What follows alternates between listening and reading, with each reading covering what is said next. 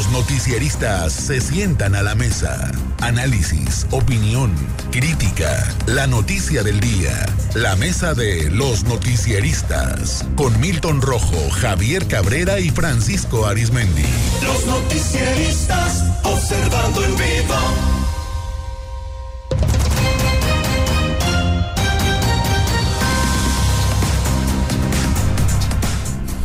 Ya la mesa de los noticieristas, saludo a Francisco Arismendi. Francisco, muy buenos días. Muy buenos días, Sinaloa. A Javier Cabrera. Javier, muy buenos días. Muy buenos días al auditorio. A Milton Rojo. Milton, muy buenos días. Muy, muy buenos días. Dice Javier que quiere hablar del claro triunfo del América en la final del fútbol. Pues es lo que vi. Vimos millones de mexicanos, pero bueno. Sí, era penal. Hay controversia. Sí, era penal. Sí, era penal. Era expulsión, ¿eh? Era expulsión. Era expulsión. Era la segunda amarilla. Debería haber. no, es que debía haberlo expulsado. Si fue falta, debía haber expulsado. Debió haberlo expulsado. Claro. Pero bueno. Pero siempre hay controversia cuando gana el mejor equipo de México. Pero bueno. Muy bien. Bueno, hablando de, finales de fotografía, eh, no sé si va a ser el caso, pero pues hay eh, diversas opiniones sobre las encuestas. Hoy el periódico El Economista sacó un artículo muy interesante, dice, divide a expertos resultados de elección presidencial. Si la elección presidencial se cierra, que es lo más probable, el riesgo de inestabilidad política y económica es inminente, advierte el politólogo José Antonio Crespo. Fernando Durac augura que los resultados de la disputa por la presidencia entre la morenista Claudia Sheinbaum y Xochitl Gálvez eh, no serán cerrados.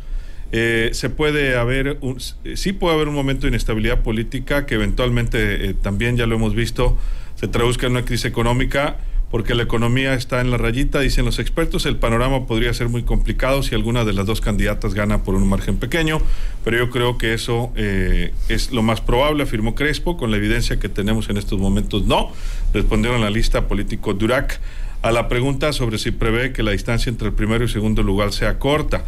Eh, coinciden en que todo apunta a la judicialización de los comicios del 2 de junio, cuando se disputarán más de 20 mil cargos de elección popular, incluida la presidencia de México, ocho gubernaturas, la jefatura de gobierno de la Ciudad de México, 128 senadurías y 500 diputaciones federales. La judicialización es segura, pero la ley prevé el litigio, irá al tribunal y a llevar pruebas y pedir que se revisen las casillas, eso es lo de menos, eso está dentro de la ley, el problema que yo veo es político, es decir, las marchas, la confrontación, la descalificación, la movilización, dijo el analista. Y ahí andan muchas encuestas de cierre, Javier. Eh, en las últimas horas, incluida una que da un supuesto empate técnico, que es la de Masip Kohler, aunque la mayoría pues dan más de dos dígitos a Claudia Sheinbaum sobre Xochitl Galvez. Mira, hay una serie de análisis sobre las encuestas de cómo se deben leer, qué ha pasado en el futuro y también qué pasaría si Xochitl Galvez ganaría. Alguien lo interpreta que pudiera entrar también en una crisis económica, pero esto ya lo vivimos. Y yo recuerdo, me viene a la memoria la gran discusión que había previo a las votaciones del 2000, cuando pues, este que el fenómeno que fue Vicente Fox, sin duda, pues empezó a remontar casi más de 22 puntos, si mal no recuerdo, que llevaba la bastilla de, inicio de campaña que se veía prácticamente inalcanzable. Sin embargo, bueno, el proceso se decía a algunos que si llegaba el PAN al poder iba a haber una gran crisis porque, bueno, pues el PRI tenía la estabilidad económica. Al otro día no pasó nada. Yo me acuerdo que con un grupo de amigos estábamos café y les dije, aquí, vemos, estamos todos tranquilos, el país no sucedió nada, hubo una transición tranquila, la gente aceptó que perdió el PRI por primera vez y bueno, pues adelante este país. Hoy estoy viendo una serie de, comentarios en cuanto al, incluso el financiero hace un estudios sobre los procesos electorales anteriores en base a las encuestas. Y algunos dicen que en la pasada la mayoría se equivocaron. ¿Quién le daban algún le daban al presidente de la República, Andrés Manuel López Obrador, un 48% que era el tope que pensaban? Pues superó ese tope. Superó el tope. Y en el caso del caso de Meade fue menor, a la proyección que tenía, igual que el Bronco, fue mucho menor a lo que decían las encuestas que podían alcanzar. Y bueno, pues se da una explicación por el tema hoy de lo que se habla del voto oculto o de las personas que no han querido decir si van a participar o no. No se sabe. Bueno, es en algunas encuestas se ha llegado a decir que llega hasta el 18% de las personas o que no han querido responder o que dicen que todavía no tiene definido su voto. Muy grande. Es un porcentaje muy grande, pero nadie nos garantiza si van a ir a las urnas o no, y a favor de quién pudiera ser al momento de ir a las urnas. Que dicen también, bueno, que muchos electores al momento de estar a las urnas, muchos pueden cambiar de opinión por diversas causas. Pero ahorita lo que estamos viendo es que la mayoría de las encuestas efectivamente hablan de que Claudia va arriba. Hay quien le dan hasta 30 puntos, de 0 a 30. Cada quien, bueno, tiene su metodología, algunos ya están hablando de un empate técnico, cada uno tiene sus propias metodologías. Habrá que ser, habrá que ser prudentes en la interpretación y en este número de encuestas, porque tiene uno que ver qué número de personas han sido encuestadas y en qué sectores o en qué distritos electorales son encuestados. Ahí diría Marcelo Ebrard, ahí está la clave de cómo te pueden favorecer o te pueden perjudicar. O sea, ya los partidos políticos tienen muy bien ubicados dónde está su fuerza política por distritos y bueno, si quieres que salgan muy bien, levanta las encuestas en esos distritos. Milton, tu punto de vista. Sí, recordemos la primer crisis eh, de credibilidad de las encuestas fue en el 2012, cuando pues todos daban por muy elevado el triunfo de, Enrique Peña Nieto y pues fue de un dígito, el triunfo fue de un dígito, 6.7. Entonces, ¿quién estuvo más cerca de ese, de ese dictamen? Pues fue este, de ese resultado fue María de las Heras, de Motecnia este, que en paz descanse. Entonces, ella eh, fue la que dijo, así va a quedar la elección, mientras todos daban 15, daban 20. Bueno, esa fue la primer crisis. ¿Y quién evidenció, quién evidenció esa crisis en redes, en las incipientes redes? Pues precisamente eh, el ala del PRD que hoy forma parte morena, cuando dijeron, eh, esto es, estos son los resultados y así fue la elección. O sea, esa parte de las encuestas se utilizó obviamente como propaganda electoral o como una, un efecto de propaganda. Entonces, ahorita estamos viendo, eh, en previo a esta elección, pues diferentes encuestas donde dan ciertos tipos de resultados, como decía Javier, algunos de 30, otros de 20, otros de 15, otros de 11. Entonces, en función de eso, no sabemos cuál es la dispersión de uno a otro, el dato. Pero lo que sí se ve es que, pues, Morena eh, siga la delantera, salvo Mossip Collar, es la única que da un empate técnico, eh, un, empate técnico, pero de ahí para allá no, no tenemos otro, otro instrumento que diga, otro referente que diga, que diga, oye, así están las cosas.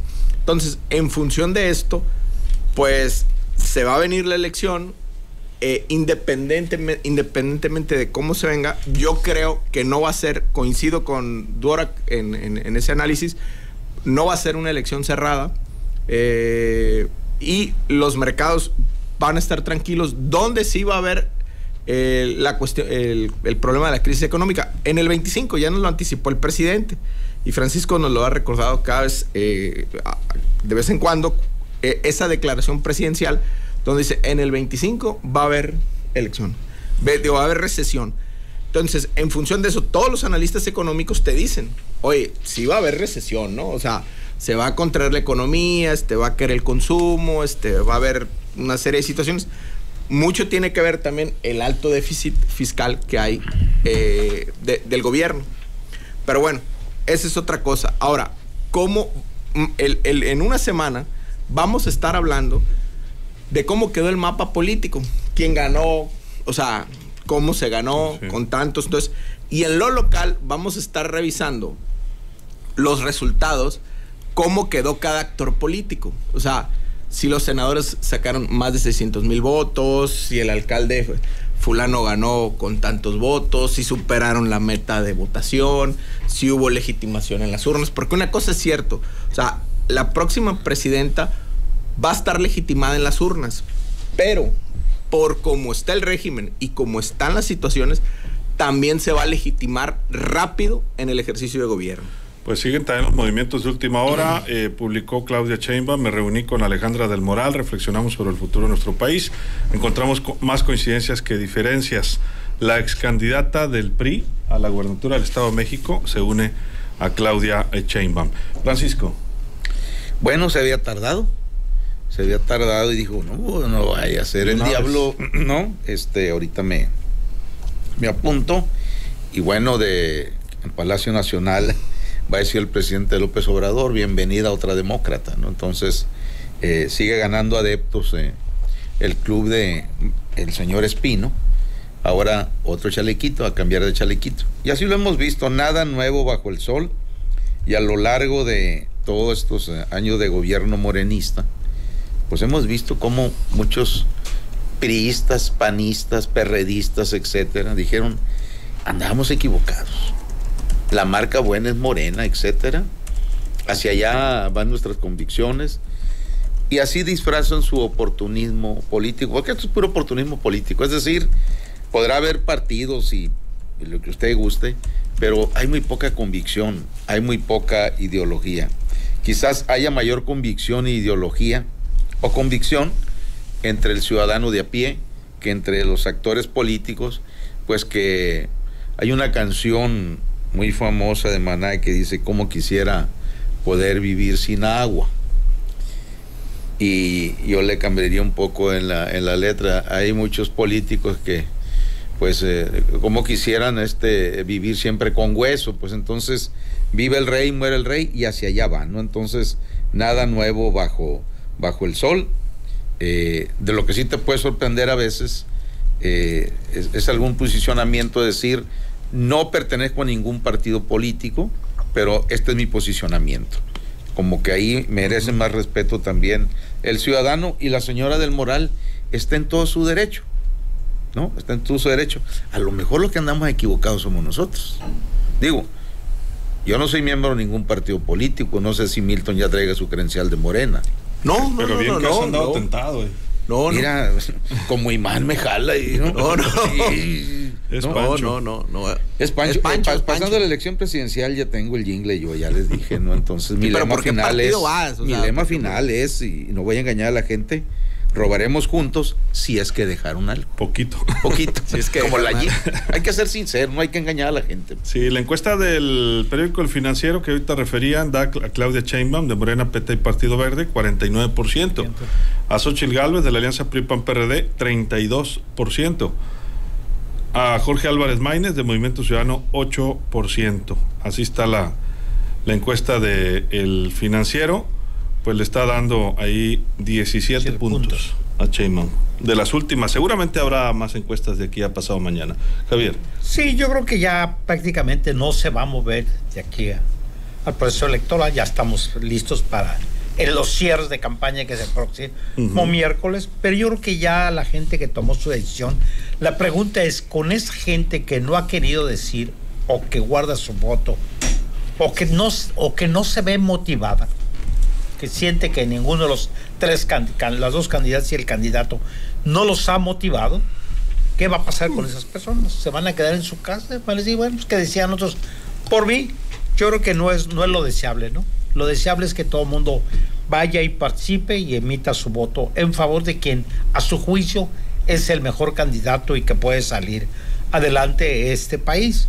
Pero todavía no vemos cuál puede ser, no vemos mucha pasión eh, pasión de aquellos ciudadanos que se han manifestado en contra del gobierno federal, que sienten que no responden a las políticas públicas, pero solamente lo hemos visto en manifestaciones en redes sociales o en café.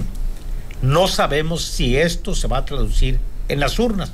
Es lo que mucha gente está pensando que pudiera suceder, pero esto nadie no, no lo garantiza porque hemos visto en el que pasado, solamente en el 18, que mucha gente sí lo manifestó con mucha anticipación, con mucha anticipación, no le dio pena y muchos periodistas de, y de todos los partidos políticos que dijeron vamos por un cambio, vamos con Andrés Manuel López Obrador.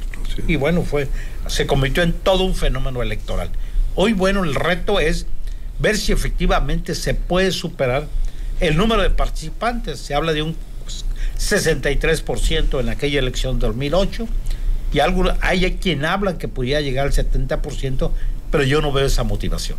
Ojalá sí se dé el próximo domingo. No, sería, muy- sería extraordinario, ¿no? Sería un buen el mensaje. 70% de es. participación. De participación, Sí, sí, sí. yo creo que llegaría, quien llegue a la presidencia, llegaría con un gran respaldo social.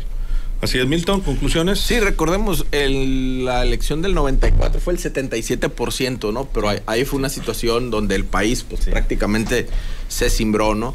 Entonces, eh, yo creo que sí va a haber una alta participación, no sé si pega el 60%, pero independientemente, quien llegue va a llegar legitimada electoralmente, o sea, por la vía de las urnas, no va a ser una elección cerrada lo que va a seguir es legitimar su gobierno. O sea, una cosa es que las, las urnas te legitimen y otra cosa es el cómo te legitimas. Y, el, y la legitimación puede venir por parte de un factor que juega mucho en el actual régimen y está jugando en esta elección presidencial.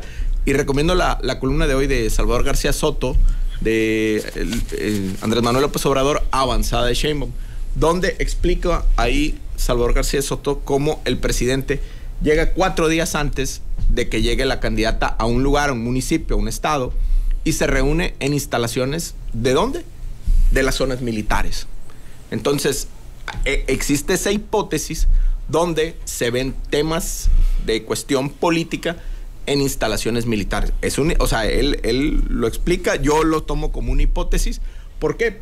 Porque es una situación en donde los militares están jugando una situación que no jugaban desde el México postrevolucionario. O sea, el presidente los devolvió activamente a la política. No tan abiertamente, pero sí por la puerta de la Administración Pública Federal para después formar parte de ese conglomerado que es, que es Moreno. O sea, recordemos que antes en el, en el PRI o en el PNR había un cuarto sector, el sector militar. Eso estaba desde el país. Entonces, el presidente, que es que le gusta la historia, le entienda la historia, pues prácticamente tiene al sector militar como parte de uno de los bastiones de Morena. No es la, esto, esto ya había pasado, pues pasó en los 40, en los 50. Cuando los devuelven a los cuarteles, pues eso, e, e, ese proceso duró más de 30 años, desde Ávila Camacho hasta Luis Echeverría. Y eh, recomiendo también un libro que acaba de salir a la venta, es de Ramón Alberto Garza, Dos Dinastías, eh, explica muy bien cómo una la dinastía de Echeverría Álvarez y la, y, la, dinastía de Salinas constantemente desde los 60 se han estado peleando el poder, pero desde todos los flancos. Y es un análisis muy pormenorizado de los hechos que han pasado de los 60 hasta la fecha. Francisco, tu conclusión. Sí, mira, el presidente lo que anda haciendo es un checklist de cara a la elección no dejar cabos sueltos por ningún motivo. El tema, dice él, es lo del IMSS, este, Coplamar, ¿cómo se llama? Bienestar. Bienestar, bienestar. Pero imagínense ustedes en cada recorrido, las reuniones son instalaciones militares, no son instalaciones del Seguro Social ni del Bienestar, etcétera. Pero bueno, el comandante supremo de las Fuerzas Armadas puede sucesionar eh, donde guste pero es un checklist, es decir, eh, es lo que anda haciendo el presidente López Obrador, que quiere mantener el control de la elección hasta el último momento, como lo han hecho todos los expresidentes o lo han intentado. Este, es más, hasta el propio, fíjense bien lo que voy a decir, y digan que se lo dijo un loco, como decía mi tío Pilar Hurtado Cortés, que en paz descanse. Hasta Peña Nieto mantuvo el control de la elección presidencial. Claro. ¿No? ¿Y qué dijo? No a favor de mí. Pero no a favor de mí. Fue muy abierta. Licenciado. ¿Y en contra de quién? Hoy, el, licenciado Peña. ¿Y en contra de quién? Pues en contra de Anaya, En contra de Anaya. Y ¿qué es lo que agradece permanentemente el presidente el licenciado Peña, al que ha llamado demócrata? Que no se haya metido. Aparentemente. En contra de él. Pero si el combate a la corrupción es eh, la presentación, es la credencial principal del presidente López Obrador? ¿Por qué brincó hasta el sexenio de Felipe Calderón? ¿Por qué no brincar a uno de los presidentes más corruptos históricamente que ha tenido el país, como es Enrique Peña Nieto? Y bueno, eh, eh, cayendo en un exceso de cinismo, que los agarraban con las manos en la masa y les valía. Ellos continuaron, continuaron hasta generar el hartazgo. Que dijo Peña Nieto, yo no voy a ser el tonto de la película. A ver, venga, chepa acá. Entonces, hoy por hoy, por aquello de no te entumas, o por, lo que el tiempo estira y encoja, como decía mi mamá Amelia, que en paz descanse, no puedes dejar un cabo suelto. Claro. Y, y es una manera de demostrar, hey, el control lo tengo yo. Lo tengo yo. Y eso es lo que anda haciendo. Eh, vean ustedes el efecto, qué chistoso, ¿no? Del moral. De la señora Alejandra del Moral, eh, eh, que fue candidata al gobierno del Estado de México Estado de por México. el PRIAN y que quedó como a 6, 8 muy puntos de, cerca. Sí, sí, sí. ¿Y, qué decían las encuestas en el Estado de México? Iba- 20, 18. Bueno. ¿Y cuánto participaron además Ah, bueno. Ah, bueno. ¿no? Y eso que no se metió el demócrata a apoyar al PRIAN allá, el, el, el gobernador. Si se mete, Pierden. no, pues, Pierde claro. Morena. ¿Y con qué ganó Morena en el Estado de México, Milton? ¿Con los votos de quién? Del verde. ¿No? Y el Del verde. ¿no? Verde. No, Del de, PT y del Movimiento Verde. Ciudadano que no participó. También. Y Movimiento Ah, Ciudadano, acuérdate que ah, no bueno. Extraña- extrañamente. Ey, ey, no extrañamente. Movimiento Ciudadano aparentemente no participa, pero de lleno se mete.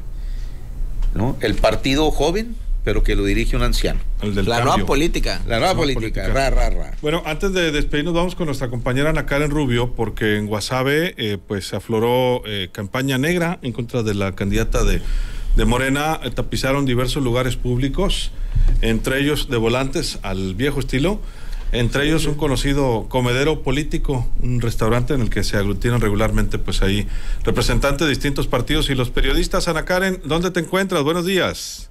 Muy buenos días, Luis Alberto. Buenos días para nuestro auditorio. A la mesa también buenos días. Eh, pues estamos aquí en un conocido restaurante en el que precisamente coinciden eh, frecuentemente pues la clase política y también los reporteros periodistas también se reúnen aquí. Y bueno, eh, precisamente Luis Alberto con la sorpresa de que esta mañana eh, tapizaron la banqueta tanto de esta zona como de una birrería muy conocida también que está en la esquina de volantes en los que precisamente o panfletos eh, se hace campaña negra en contra de Cecilia Ramírez, eh, la candidata de Morena a la alcaldía de aquí de Guasave. Esto luego de que el 15 de marzo eh, Armando Leison Castro le hizo, de mayo, el 15 de mayo le hizo una reunión Armando Leison en su casa a la doctora Ceci y bueno, ahí se tomaron algunas fotografías y ahora se está diciendo en este panfleto que hay un compromiso de Cecilia de darle la tesorería municipal si llega al gobierno en caso de ganar ella la elección. Evidentemente, pues relacionando el tema financiero con Armando Leison, quien fue presidente de aquí de Guasave. Obviamente se valen de estas argucias, Luis Alberto, muy cerca del proceso electoral para tratar ¿no? de, de dañar esa imagen o la campaña que hace Cecilia Ramírez. Así, ¿Ha habido alguna reacción hasta el momento? Eh, no, de hecho no. nosotros nos percatamos cuando estaban levantando los papelitos parte del equipo eh, que se relaciona con la candidata, estaban levantando estos papeles y bueno, fuimos a investigar y ya nos dimos cuenta de qué se trataba. Eh, realmente eh, fue poca la gente que se enteró, yo creo, de que habían hecho esta, esta acción y desconocemos también si en otros puntos estratégicos de la ciudad hayan hecho uso de esta herramienta para, pues, para hacer, para hablar mal de la candidata. Así las cosas. Pues muchas gracias, Ana Karen. Pendientes y excelente inicio de semana para todos. Saludos a Ana Karen Rubio desde el restaurante La Campiña, ahí en Órale. Guasave, al viejo estilo, Javier, y lo que falta en estos últimos días, ¿no? Hace mucho que no veía este tipo de acciones. Me viene a la memoria al- algunos que hicieron, sobre todo en el municipio de, Gua- de, de Mocorito, en varias ocasiones, que en los hogares metían En Ahome también. eh, que campaña negra en contra de alguno de los candidatos diciéndole, a veces inventándole cosas, ¿no? Este, bueno, pues como parte de una estrategia que se daba, y algunos se hacía en un tiempo que Mocorito esto era normal en los procesos electorales, que salían a aflorar las habilidades de escritores, sobre todo, de cómo se lanzaban acusaciones y uno y otro. Pero forma parte del proceso electoral, esperemos que sea tranquilo, que sea pues, que no llegue más que a estos panfletos. Pero bueno, pues el próximo domingo tenemos todos los mexicanos una cita, ir a la urnas. Y ahí usted defina quién siente que puede ser el alcalde, su diputado federal, su diputado local. Y si hay algunos que van buscando la reelección, pues nada más haga memoria, ¿qué hicieron por usted? ¿Los volvió a ver? ¿Tienen derecho a que le refrende su apoyo? ¿O va a buscar nuevos hogares, nuevas caras? Pues ya estamos a escasas horas, Javier, ya. Muy poco ya, Muy pocas horas. Hasta el miércoles podrán hacer proselitismo únicamente. así es. Pero no ese tipo de campaña, ¿no? Yo creo que hay que hacer alguna, algunas propuestas ya. De mayor nivel. Eh, Milton, Sí, bueno, este es eh, este ataque, pues yo creo que le va a fortalecer más a Morena. Digo, no sé, no conozco tanto Guasave, eh, la política en Guasave, pero pues la imagen del Cory Layson, pues yo me imagino que, que está bien, ¿no? O sea, Entonces eso le fortalecería. No sé, no sé, Francisco, ¿qué, qué opinas, Francisco? O sea, digo, yo desconozco. Pero si hay, si hay una imagen negativa, entonces sí le afectaría pero ahí sí yo desconocería. No sé, Francisco, tú qué. Falta ver que si fuera cierto. falta ver que fuera cierto. Falta ver que si fuera cierto. Que a lo mejor Cory sí quiere ser tesorero. Ah, no, no, no, no. Pues. No, de querer si quiere.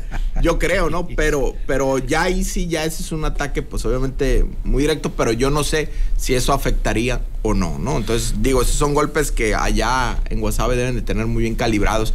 Y bueno, pues es parte del golpeteo que se da, ¿no? Francisco. Por relaciones personales, yo tampoco sé. Lo único que sé lo bien que nos la pasamos la semana ah, pasada en casa de doña Silvia Miriam y nuestros colegas de Vibra Radio allá. en, claro, claro, Eso sí sé. Eso Pero pronto lo sabremos. qué tanto llegó todo eso porque lo que tenemos que hacer permanentemente de aquí a las elecciones, lo que hemos estado haciendo, valga la redundancia de la semana pasada, el voto es libre y secreto. Salgan a votar. Salgan a votar a conciencia por quien usted quiera. Revise la mejor encuesta, la tiene usted en su casa, en su calidad de vida, en su refrigerador. Por lo demás, híjole, ¿de veras se va a seguir votando por partidos políticos o por candidatos? No lo sabemos, pero como coincido con Cabrera, ¿no? usted revise si tal o cual candidato que anda buscando reelección, hombre o mujer, realmente le respondió. ¿Por qué? Porque el próximo 2 de junio, como dice el memo, hay que fijarse muy bien dónde va a poner usted la cruz, porque después hay que cargarla, sin olvidar siempre en la palabra canta que el éxito de un manipulador depende del grado de ignorancia de sus seguidores, mataril y dilirón. 30 segundos, Javier. Sí, bueno, es parte de esta estrategia y bueno, pues usted ya no le haga mucho caso a las encuestas, algunas de ellas muy bien hechas, algunas pues hay muchos errores o omisiones. Y bueno, pues, usted haga su análisis en su casa si efectivamente le conviene ir a votar por determinado candidato, independientemente del partido que sea. Si siente que esta persona lo convence, adelante. Si equivoca, bueno, pues tendrá que aceptarlo, ¿no? Muchas gracias, Javier. Muy buenos días al auditorio. 30 segundos, Milton, nos vamos. Bueno, como, como, comenta Lorena Becerra, experta en encuestas, eh, cada encuestador se juega la firma en los resultados. Entonces, después del, eh, del 2 de junio, vamos a saber quién fue más preciso y sobre eso, pues, obviamente su firma va a valer a la hora de presagiar un resultado electoral. Muchas gracias. Muchas gracias, Milton. Francisco, 30 segundos. hay que votar, hay que salir a votar, vale mucho la pena. Siempre mm, ha ocurrido así, pero hoy más que nunca, votemos y sobre todo, guardemos todas las encuestas que hay, ¿no? Hay que guardarlas todas. Y ahorita no hay pretexto porque eh, picándole aquí al aparatito este, reaja le sale eh, eh, todo eso. Entonces, preparémonos y sobre todo que las autoridades federales, estatales y municipales nos brinden a los ciudadanos desde días antes la seguridad de que absolutamente nadie va a entorpecer o enturbiar el proceso electoral. Creo que el horno no está para bollos como para que se repita un escenario como el 2021 en algunas partes de nuestra tamborilesca tierra. Así, así las cosas. Muchas gracias, Francisco. Pues buenos días, Sinaloa, y mañana los invito a una esta noche cena Pancho especial en martes. El invitado es Gerardo Vargas Landeros ¿Por qué en martes? Porque por cuestión de agenda y de tiempo legal para ellos de campañas ya no podría, me parece, estar el jueves y aparte tienen que ir al cierre de campaña de la señora Sheinman allá el 29 me parece. El miércoles. Entonces mañana creo que huelga decir que se va a poner muy bien esta noche cena Pancho Matarili Muchas gracias Francisco. Buenos días Sinaloa. Buenos días. Nos reportan una megafuga en la colonia Pemex en Culiacán, ahí frente al colegio Valladolid. Nos dicen, vamos a reportarlo a Japac. Atención, mucha atención. Y también queremos felicitar a Ernesto Robles Sepúlveda en Callejones de Tamazula, en Guasave, que está de cumpleaños. Muchas felicidades, Ernesto. Espero que haya regalo. Saludos a través de Vibra Radio Guasave 89.7 de FM. Soy Luis Alberto Díaz. Que la pase usted de lo mejor.